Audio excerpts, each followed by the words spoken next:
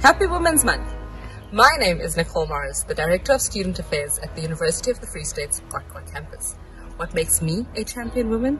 An irrepressible ability and desire to find solutions to challenges big and small, and smiling and laughing throughout the journey. Each of us are born with a unique box of matters inside us. Some people and experiences ignite them, and some unfortunately Each of us have to discover what sets off the explosion in order to live. The combustion that occurs when one of them is ignited is what nourishes the soul. That fire, in short, is the soul's food. Thank you.